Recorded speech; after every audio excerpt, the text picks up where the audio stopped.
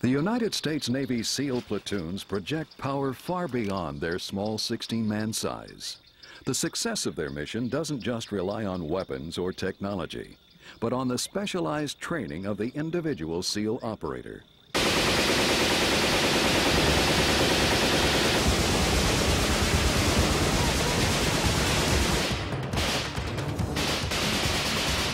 They come from all walks of life, from all across the American landscape. Most have some measure of athletic ability.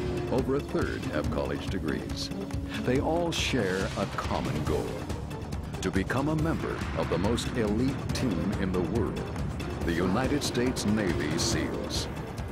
Each year, 600 to 800 young men attempt the Basic Underwater Demolition SEAL Training, or BUDS, at the Naval Special Warfare Center in Coronado, California. But only one-third complete the rigorous 25-week transition from sailor to SEAL. Let's go, let's go! This is the story of one such group, Class 224. You get treated like the absolute lowest form on earth, and you really got to find it within yourself to say, you know, I know I can do it. I know I can finish it. I know I can do anything they throw at me. Uh, that's where it builds character. If you find out if you got it in yourself, uh, if you can just block everything out and just focus on that brass ring, you know, of getting through this six months of hell. First phase is really the phase that's going to separate the men from boys. These guys come here, they really don't know what to expect, so uh, we're going to push them. We're going to push them hard. We're going to see what they have. And the guys that want to be here, no matter what we do or say, they want to be a SEAL, they're going to be a SEAL. That's, that's, that's all there is to it. Physically, Buds is a real butt kicker. Just having the mental fortitude of not only trying to get through the PT sessions, but also getting through the lack of sleep, having instructors on your back, being hurt all the time. All those things start, start taking a play into it during the day, and it's uh, just having the idea of there's nothing that's going to stop me from finishing this training or finishing this evolution. That's what gets you through it. I believe that uh, Bud builds teamwork and character by uh, weeding out the weak, bringing the strong together to survive the training. I don't think any one man can make it alone through Buds. I'm gonna stay in this position until you guys lock it out. Come on! I'll stay here all day. I'd say the uh, obstacle courses never blow my expectations. It's, it's one of the best training you can get. Because you gotta think on your feet, you gotta act, you gotta move, you gotta be fast, you gotta be safe. You can really hurt yourself. Who got logs? Friction in first phase is pretty high. Like I say, it's, um, it's, a, it's a really fast-paced phase. And these guys are constantly moving and grooving every second of every day, except for when they're eating. So um, the guys, when they hear about SEAL training, they're like, well, all you have to do is run, all you have to do is an O course, things like that. Not really that big a deal. But once you start putting everything together, and the days are endless, that's when uh, guys decide that this really isn't for me. I'm not, I don't want to be wet, I don't want to be cold. Uh, this pace right here is not for me. But that's what's going to happen when they leave here, they go to SEAL team. The, the pace is just like that, it never ends. Just about everything at Buds is a, is a timed evolution or it's a, it's a race. Uh, it builds camaraderie with the guys. They, they take their boats and they'll race out through the surf zone. Sometimes the boats will flip over on them because the surf gets so big. It's quite an experience to be paddling the rubber boat and facing this eight-foot wall of water coming at you. It's just going to destroy you and you know, send you tumbling around. And there's almost like a washing machine effect in the water. What we're looking for from a recruit, number one, he has to have the physical skills to complete the training. Two, he has to have the mental aptitude, because we're not just a bunch of knuckle draggers. You have to have some mental skills as well. 4210. We don't look for any kind of personality. There's all sorts of different kind of personalities in, in the teams. But we're looking for a guy that, that's willing to sacrifice and can work well with others in a, in a teamwork environment. I think the evolutions that cause most problems are the water evolutions. Some of these kids are from Wyoming, different places where they haven't even seen the water, or at least the surf zone. They're not really too comfortable in the water. And you're doing drown proofing where your hands are tied behind your back, your feet are tied up. They don't like that. Drown proofing, I think it's more of a mental thing than a physical evolution. It's all about trying to stay calm and being comfortable in the water.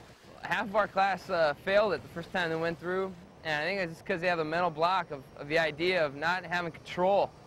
You just gotta, you know, have confidence in yourself and, and saying, you know, I've done this before, I can float on the water.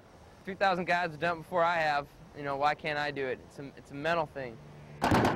Hell Week, the most dreaded week of buds. It's the ultimate test of one's physical and mental motivation. A round-the-clock regimen of intensive physical training and harassment with as little as four hours of sleep during the entire week. Let's go. Get your butt up here. All the way up on the rocks. And Get all the way up. Hell Week is five and a half days long. Uh, the class is divided into boat crews. Teamwork is a, is a key issue um, during Hell Week. They're up for five days doing various evolutions that stress teamwork. Cold, wet conditions, again, come into factor. And, and this is a, an indicator of uh, what kind of a man is going to come out the other end. You'll, you'll never be challenged anywhere the way that you're challenged in Hell Week. I mean, it'll test your, it'll test your soul to the very core of your being. You'll know exactly what your limitations are and what you're capable of doing when you get done with Hell Week. And then not being able to sleep and just, you know, falling asleep standing up. You sleeping? Yes. During Hell Week, I found I could fall asleep while I was underneath a boat while running. It was just a, a, a week of intense emotion and, uh, and, and pain and cold and misery. And sometimes you thought it couldn't get any worse, um, but it did. guys who went away, uh, the only thing I can say about them is that they just decided it wasn't going to be part of their life. You have to want it.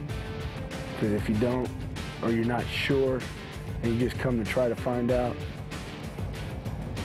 you won't be around. Into the water. Uh, second phase is the dive phase portion of BUDS. Uh, it also builds teamwork, but it starts to incorporate a much greater learning process for the, for the guys going through. The majority of the evolutions that cause the students the most problem is the water work. Uh, if a guy isn't comfortable in the water, then he's not really cut out to be a frogman. Uh, he's got to keep his head about him when he's in the water if something goes wrong with his dive rig or something like that. So a lot of the pool work is, uh, is very stressful. Uh, you've got to be mentally in the game to make it through those evolutions. The men are subjected to continual calculated harassment by their instructors to see if they follow procedures taught in the classroom. Students are tumbled around and their mouthpieces torn from their mouths, simulating the effects of a strong ocean surge. Students are taught two types of scuba. Open circuit using compressed air bottles and closed circuit using specialized oxygen recirculation equipment. San Diego Bay turns into a combat training area for practicing underwater navigation. The men are learning to use a specialized breathing apparatus, the Draeger LAR 5. It's a closed-circuit underwater breathing apparatus designed for use in clandestine military operations in shallow water, where concealment of telltale exhaust bubbles is essential. The Rock, San Clemente Island where the windy northern tip of the island is Bud's country. It's at this modern compound that Class 224 will spend their final four weeks of training. Out here, it's the ideal training ground for them. We have uh, weapons ranges, demo ranges, and uh, a lot of good terrain for them to patrol in. On the windswept mesa overlooking the camp is the rifle range. It's here that the men will spend day after day of basic weapons training and maneuvering drills. A lot of guys come here have never shot a rifle before, so they have to start out at a really basic level, uh, just target shooting. Third phase is designed to finally teach these guys how to be SEALs. And we have to start off with basic rifle drills. And everything in third phase uh, is, is a gradual progression.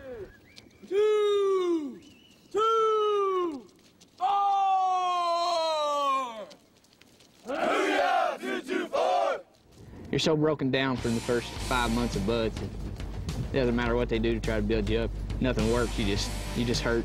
You just go on. When you guys get out into teams, you're going to be asked to do things that you think is impossible.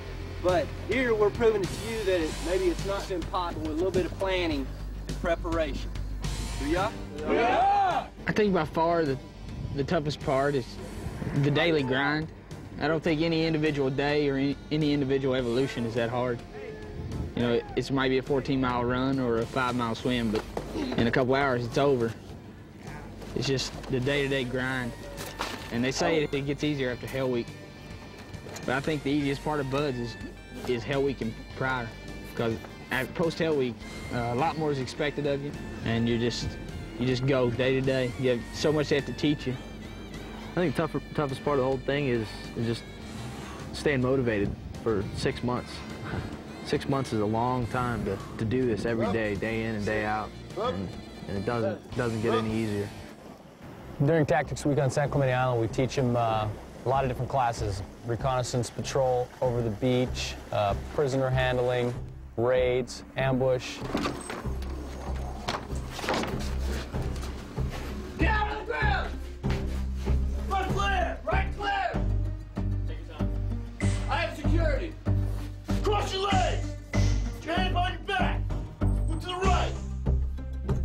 All part of learning the tactics, tools that we use, tools that we need as SEALs to do our job. They're right now doing it in the daytime. We never do any kind of operation in the daytime the SEAL teams, but they've got to learn it. So we need to be able to watch them and see what they're doing and making sure that they're doing it right. Out on this beach out here, we're going to be doing an obstacle load. We got a bunch of obstacles underneath the water up there at about 10, 12 feet. We're going to be taking out, swimming out satchel charges filled with C4 explosives. We're going to be setting them down, uh, mounting them on the obstacle themselves. This is, of course, to simulate uh, blowing them up for an invasion force coming in that, you know, they might tear out the bottom of a landing craft. Uh, this is what, like, the original UDTs, their main purpose, their main job besides reconnaissance. Each one of these blocks is um, one and a quarter pounds of C4. And this yellow stuff you see coming out the front here, the top of it, this det cord, this is what we use to tie into the, the, the trunk line. This is going to be run to each one of the obstacles that are out in the water behind me. Um, we tie in with a right angle knot into the trunk line so that when they detonate it from the shore up here, it all goes off at once. I think the biggest thing about it is, is for us, for all of us here, it's our last great evolution of buds.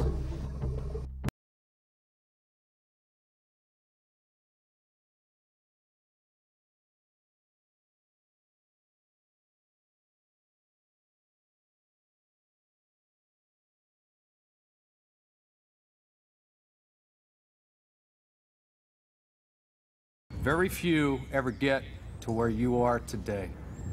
You only graduate from BUDS training once. It marks the completion of the toughest military training in the world.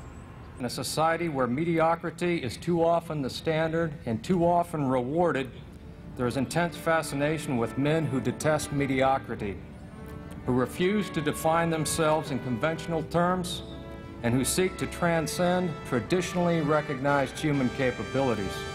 This is exactly the type of person BUDS is meant to find. The man who will find a way to complete each and every task to the best of his ability. The man who will adapt and overcome any and all obstacles.